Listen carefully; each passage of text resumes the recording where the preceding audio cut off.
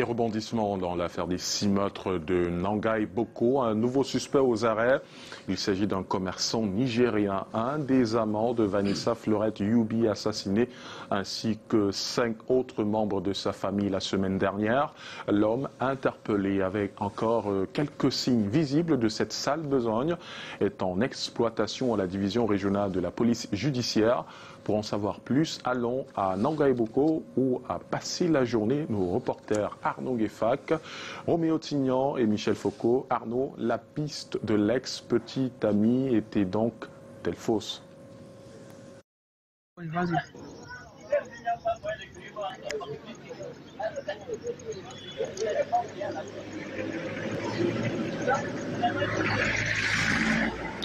Les pronostics orientés vers l'ex-copain de Vanessa ont finalement été déjoués.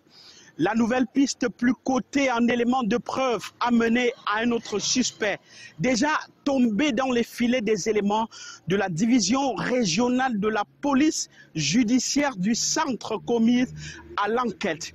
Il s'agit d'un commerçant résident à Nanga Eboko, propriétaire d'une boutique située juste derrière moi. Il est d'origine nigériane. Avec Vanessa Fleuret Youbi, il entretenait une relation amoureuse, nous dit-on.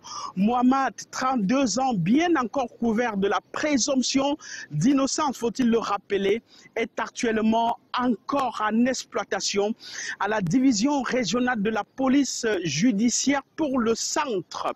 C'est l'exploitation du téléphone de la très convoitée Vanessa qui a révélé cette piste à partir des échanges des messages.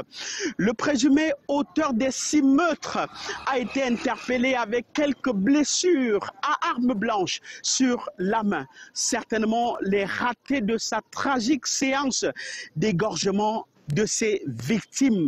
Pour l'instant, les enquêtes se poursuivent car il se pourrait qu'il n'ait pas agi seul cette nuit de mercredi-là. Nangaï Boko, Michel Foucault, Roméo Tinan et Arnaud Guifak.